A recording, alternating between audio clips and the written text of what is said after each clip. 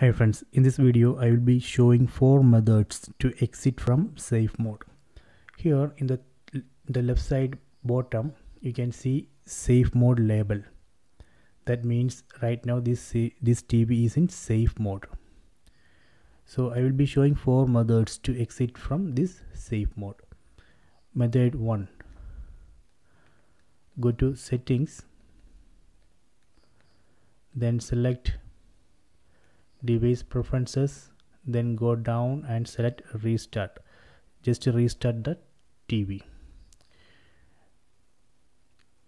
method 2 just unplug and plug the power cable or power off and power on the TV so that way also we can exit from the safe mode. Method 3 go to settings then select apps then select see all apps. From this list we need to uninstall all unwanted apps. We can also uninstall the apps which we installed recently.